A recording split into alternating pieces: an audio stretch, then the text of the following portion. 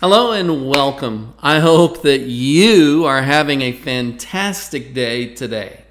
We're going to talk about Bitcoin news today. Uh, Bitcoin and crypto, we're looking at the Bitcoin and cryptocurrency wealth transfer. Now, in part one and part two, we looked at the wealth transfer from the rich, from the wealthy the the one percenters and the five percenters of the world, those that have accumulated the greatest amount of wealth, if they're buying cryptocurrency, how does that affect the price of Bitcoin? Well, today we're going to look at the 95 percenter. What's happening with the retail investor as they purchase Bitcoin? And what is going to happen? What, what would it take, or how can they affect the price of Bitcoin and cryptocurrency as they're engaged in a wealth transfer of their wealth into cryptocurrency. So let's get right into it. Now, should I buy Bitcoin or should I wait? We're going to give you ideas to help you take profits and avoid losses. Can we get this video to 99 likes? Smash the like button. Hey, it really helps us out. Now, I'm not a financial advisor and I want to repeat that. I am not a financial advisor, and this is not financial advice. This is my opinion. Cryptocurrency involves substantial risk of loss. Read the rest of this disclaimer if you intend to invest in Bitcoin or any cryptocurrency, excuse me, cryptocurrency for that matter.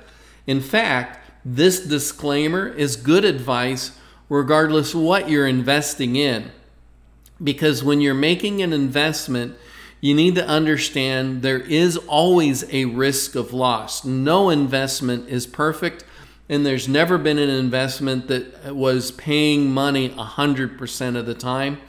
We want to find investments that actually increase our wealth and doesn't take away from our lifestyle.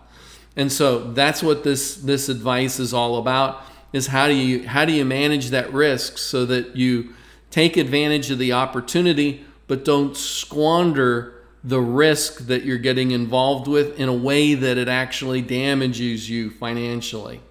So let's look at uh, the history of Bitcoin. And, and, and if you've seen me talk about this before, don't just tune it out. Think about it, take, it, uh, take a little bit of a deeper dive into it because the information on this little chart is vastly important in coming up with a strategy that helps you take profits and avoid losses with Bitcoin and any other cryptocurrency.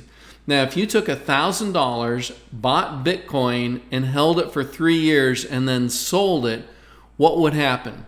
And this goes throughout the history of Bitcoin starting with December 31st from January 1, 2017 to December 31st, 2019, all the way back to the beginning of Bitcoin.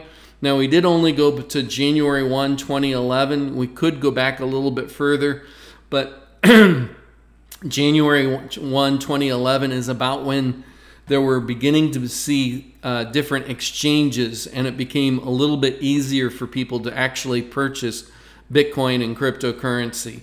And as you can see here, just in the last three years between January 1, 2017 and December 31st, 2019, if you had bought $1,000 worth of Bitcoin and sold it three years later, you would have got seven times your money.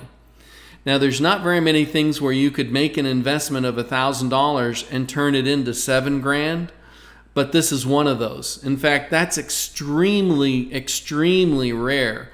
I mean, when people talk about the stock market, mutual funds, and all of these other things that people invest in, getting a seven-fold increase in a three-year period is literally unheard of. Um, but throughout the history of Bitcoin, it has done that and even better. Its worst year still turned an 18% profit in a three year period. And 18%, when you compare it to getting a bank savings account, is actually still spectacular. Even when you compare 18% over 3 years to the stock market to the S&P 500, that is close to being competitive most years. All right, so Let's look at the global distribution of wealth. This was based. This was uh, uh, uh, comes from data from 2017, but it is still relevant today. Most of these figures haven't changed a lot. Uh, the top 1% own about 50% of all the wealth in the world. In fact, the top 5% own about 75% of all the wealth in the world. But today, uh, in part one and part two, we talked a lot about this 75%. In today's video, we're actually going to talk about just this 25% area. I'm sorry, 25% of the wealth but it actually represents 95% of the population. This part of the pie represents retail investors. And in other words, we're talking about investors who are not in the wealthy class. People who are investing maybe $50, $500, $1,000 into Bitcoin cryptocurrency. Um, and, and for some of us, $1,000 is a dramatic amount of money. Um, and so, what is it about this this 95% or this particular piece of the pie? Now, this pie, the total circle here, the total amount of global wealth is valued at about 360 trillion dollars globally. And so this part of the pie actually represents about 90 trillion dollars. Now, how much of this $90 trillion has to move into Bitcoin for it to have a dramatic effect on cryptocurrency? Let's take a look. So right now, Bitcoin is in the ballpark. This this was when Bitcoin was selling at nine thousand five hundred and seventy-eight dollars, and the market cap of Bitcoin was one hundred and seventy-six billion. So that's basically taking the nine thousand and multiplying it by the actual supply of Bitcoin and that's how we come to this $176 billion number. Now, 176 billion compared to the 90 trillion contained by this, uh, you know, uh, piece of the pie is is actually less than one percent. It's more more like 0.2 percent of this total amount of wealth. And so, if one percent moves from this group here into cryptocurrency, we're only talking 1%. That would be a trillion dollars. And that would that would move the market cap from this 176 billion all the way up to 1 trillion. Oh wait, no, that's not correct. It would actually move it farther because on a daily basis, only about 4 to 6% of the total supply of Bitcoin is actually ever traded. Now, if you look throughout uh, uh, Bitcoin's daily history or or other histories, you'll find that uh, on some days, on some occasions, it may trade closer to 10% or 15%. A few times it gets over 20% of the total supply of Bitcoin actually being traded. And so the process of moving this uh, 1% of this uh, wealth from the retail investors into Bitcoin, that 1% is only able to do it by buying this small portion that's actually available on the open market. The rest of the supply of Bitcoin, the other uh, 95% of the crypto of Bitcoin cryptocurrencies were not for sale. And so you couldn't buy them even if you wanted to. And so, as the money flows from this group, from the retail investors into Bitcoin, that $1 trillion or that 1% is going to have a much larger impact. Um, now, it's hard to say how that'll happen because it happens on a daily basis, a little bit at a time. Every day, a little bit more uh, retail investors actually buy and own Bitcoin. So let's take a look at how they're purchasing it and what's happening that's moving more of that retail dollar, retail investments over into Bitcoin and altcoins. The first area where a lot of people get exposure to Bitcoin is through exchanges like Binance Huobi and Coinbase.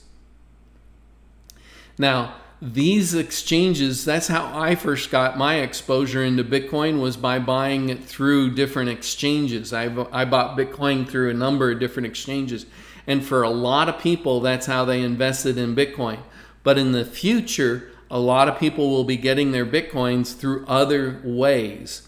For example, there's a lot of apps and software out there where you can buy Bitcoin directly. You've got software wallets and hardware wallets where if you have that hardware wallet or that software wallet, you can actually buy Bitcoin directly and deposit it directly into those wallets. You know, for example, if you have a ledger or a Trezor, you don't have to go through an exchange to buy Bitcoin. You can buy it directly through that hardware wallet. You also have things like the Bakkt app. Now, this uh, it, Bakkt, if you're familiar with them as a company, they're a institutional exchange they were built to serve institutional customers, and Bakkt is a joint venture between the company that owns the New York Stock Exchange, Microsoft, and Starbucks. But they're they're also attempting to capture a part of the retail market by building the Bakkt app.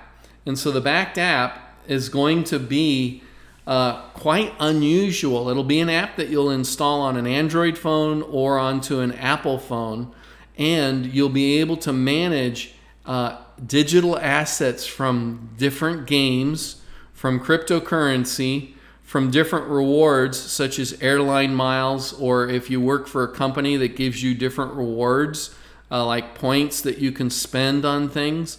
Those can be managed in the app, as well as you can even manage cash.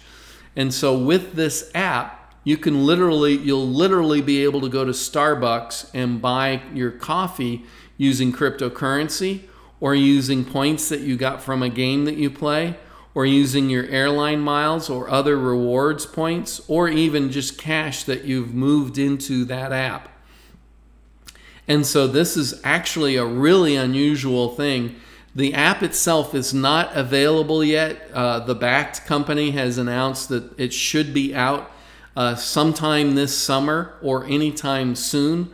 So time will tell when they actually release it, but they've made they've made a huge investment and done a lot of marketing already uh, about this app, and so it, it looks pretty secure that it actually will become a real deal uh, sometime in the near future.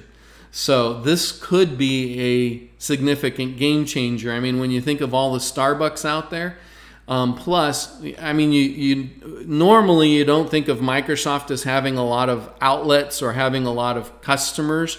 I mean, sure, everybody owns, not everybody, but a huge number of people own a copy of Windows and Microsoft Office and all of those other apps. But Microsoft also has hundreds of thousands of customers that have built their websites on the Microsoft platform, and Microsoft provides them the services for when people are buying things from those online stores. And so when you when you go to a whole, I mean hundreds of thousands of different online stores are built on Microsoft's platform and when you're checking out, they're using the checkout process that Microsoft has built.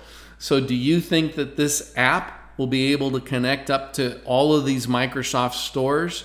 I have a tendency to think so because if you don't have a lot of places where you can actually buy stuff with this app, the app becomes useless. Well, Microsoft, New York Stock Exchange, and Starbucks have spent too much time and money building this app to let it fail. And so, yeah, I expect to see a lot of different places where you can use that app.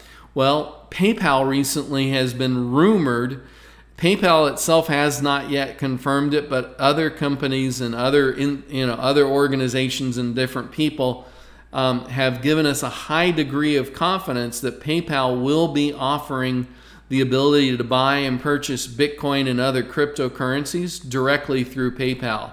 And PayPal has over 300 million customers. And so that's going to make it very easy for retail customers uh, to move or retail investors to move money directly into Bitcoin. And the easier you make it for retail investors to get involved with Bitcoin, the more of them that will do it. Plus, we have Facebook's Libra. Um, everybody who has a Facebook account in this, in sometime in the future, will be able to, to buy and use Facebook's Libra cryptocurrency. And when that happens, that gives them an easy opening, an easy gateway to get involved with Bitcoin and other cryptocurrencies.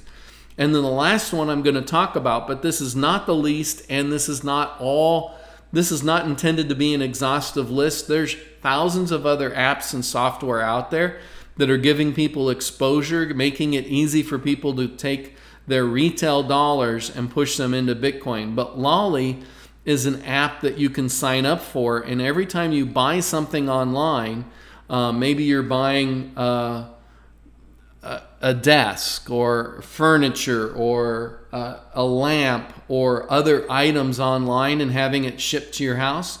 If you're buying things online, maybe you're buying steak or chicken or uh, dinner, you know, those prepackaged meals.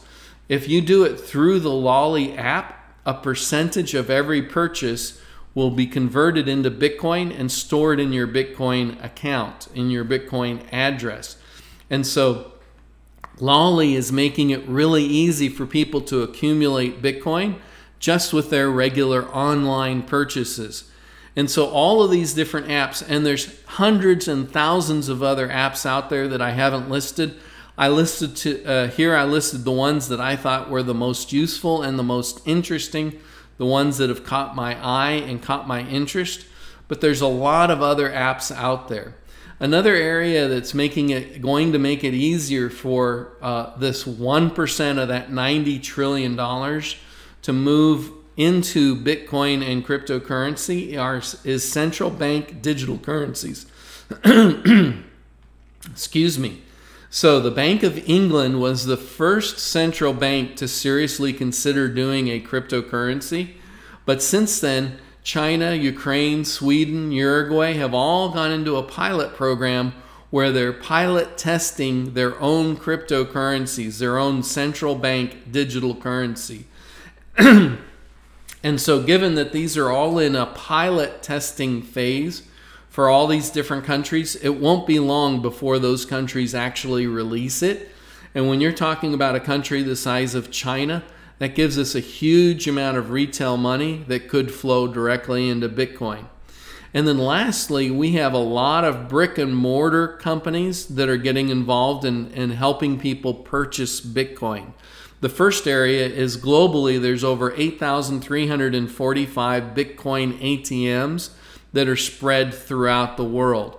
And then recently, in the last few days, there were over 20,000 stores that have announced that you'll be able to buy Bitcoin right from the counter. And so when you go to a 7 Eleven or a CVS or a Rite Aid, and you're standing there and you're buying gum or you're buying gas or you're buying a prescription, whatever it is you're purchasing, right there at the counter, you'll be able to buy Bitcoin as well and move money from your account into your Bitcoin address.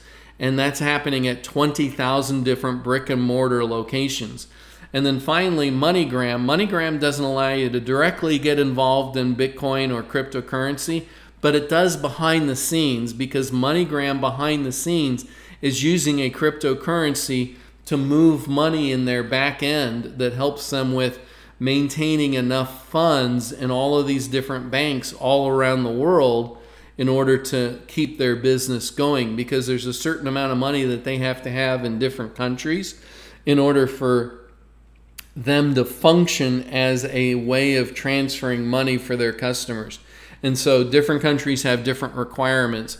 But behind the scenes, MoneyGram is using a cryptocurrency in order to move those funds around. And so as things move on, we're seeing more and more retail money actually getting pushed into Bitcoin and altcoins and other finances. And so this is beginning to gain more and more momentum. Now, right now on the chart, in terms of the total number of adopters, the total number of people that will actually be using cryptocurrency once we kind of hit, uh, you know, the mass adoption. Right now, we're way back here in the early adopter phase. We're far less than two and a half percent because when you look at the number of people that actually have smartphones throughout the world, there's 5 billion smartphones that are active and working throughout the world, and there's 7.2 billion people worldwide. And so a large portion of today's uh, population have access to smartphones, which gives them access to the ability to use cryptocurrency. And so we're way, way early. When we start hitting this part of the curve, when we start seeing uh, this accelerated version, we may see numbers that rival what we saw back here, where $1,000 could become millions of dollars in a very, very short period of time. And so we're still very, very early in this phase. We're we're, we're looking at only a handful of millions of Bitcoin addresses and cryptocurrency addresses, and that is beginning to accelerate over time. And so that's our video for today. How can I be of service to you? Do you have any questions? Please leave them in the comments below. We'd love to interact with you. Even if you disagree with anything that I said, please leave your polite disagreements in the comments. We'd love to hear from you. In the meantime, I hope that you'll like, subscribe, and hodl. And hey, do me a favor, have a fantastic day.